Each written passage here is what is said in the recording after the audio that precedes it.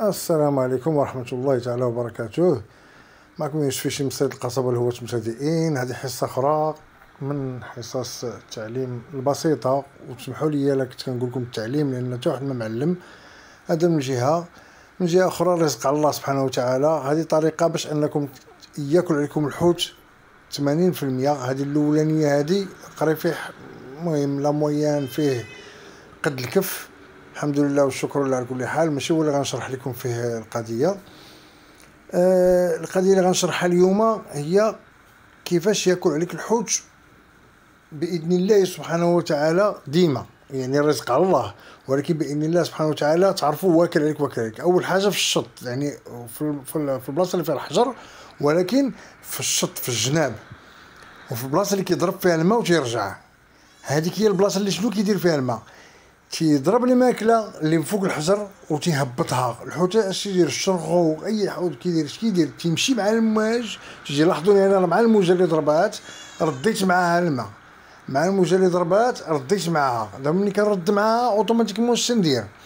تنخليها مع الماء تتمشي تتجي تتمشي وتتجي. الحوت اش تيدير هو تيسحب طعمها هابطه مع الحجر. تيمشي تيسرطها direct ما تيردش فيها يا إما غضربو في شنيفو يا إما غضربو في شنابو يا إما بحال دابا هذا. هو سرطها مشا كلها direct علاش؟ لأن درتها ليه مع الهبطة. معرف مع الماء كيضرب مع الهبطة. اللي هبطات هو الشرغو تيتسنى لتحت. دابا هو تندبز معاه. هو جبتو. تبارك الله عندي المهم pièce مزيانة تبارك الله. ولكن ديما واحد الدرس عاوتاني مهم واحد آخر في نفس السياق هو انكم فين ما تضرب الحوت كحاز على الشط على الجناب. أول حاجة باش ما يضربوكش المواج ثاني حاجة باش ما باش ما باش ما يهربش لك الحوت بارفوا كيطير منك راه طارت منه دابا. راني غنبغي نحيدها منه طارت منه ساعة طاحت غير في الدص هنا. يقدر يمشي لك الحوت ولو بيغ دو شوز يعني الحاجة اللي صعيبة هو أنه ممكن يضربوك المواج وما عمرك ما تعطي ظهرك للبحر. الشي أنا ما ديري لا لايك لا سبسكرايب ولا حتى شي حاجة. أنا غير نصيحة لوجه الله خذها وصافي.